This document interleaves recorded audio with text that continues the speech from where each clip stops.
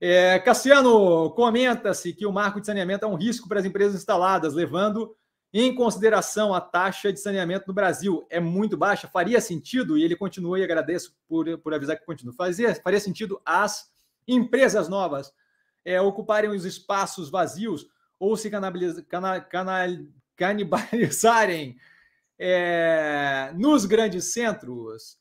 E aí ele continua: caso a última opção seja verdadeira, poderíamos concluir que o marco de saneamento produziu pouco efeito prático para diminuir o hiato que há no saneamento. Então, vamos lá. É, várias questões aí, né? A primeira delas, assim, canibalização, não vejo como possibilidade, dado que aquilo ali é o quê? É regulamentado e é um monopólio natural, tá? É, saneamento exige muito investimento fixo para construir tubulação, especialmente quando é o momento inicial. Existe muito é, investimento fixo para produzir a tubulação. Você tem um direito de exploração daquele período, e aí depois você vai para a briga de novo, mas a briga é sempre vencida por uma operação, dado que eu não posso ter tubulação de esgoto.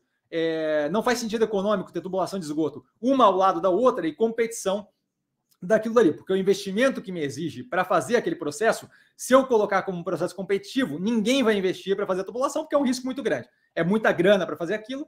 É, ou eu tenho direito de exploração, ou eu não vou fazer, e aí não vai ter nunca saneamento. Então, canibalização eu não vejo, tá? É, outro ponto, dado que aqueles negócios ali vão ser fechados e vendidos e, e licitados como pacote, você pega as boas e você pega as ruins junto das boas, um pouquinho de ruim, um pouquinho de boa, eu não acho que vai inviabilizar o crescimento, o aumento, ou como você falou, a resolução ali do hiato de serviço de saneamento no Brasil. Acho que o andamento é positivo.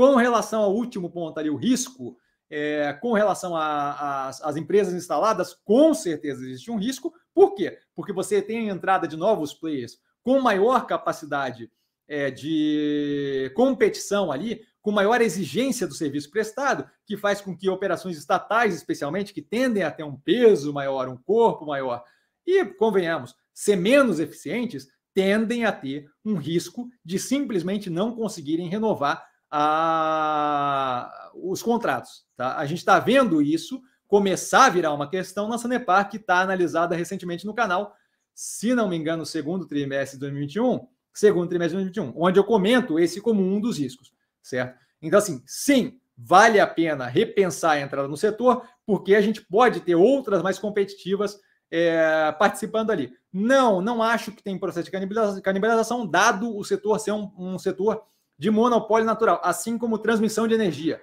Se eu botar para competir várias linhas de transmissão, eu não vou ter ninguém produzindo, construindo aquilo, dado a impossibilidade de eu ter um domínio daquilo e o custo de produção ser muito grande.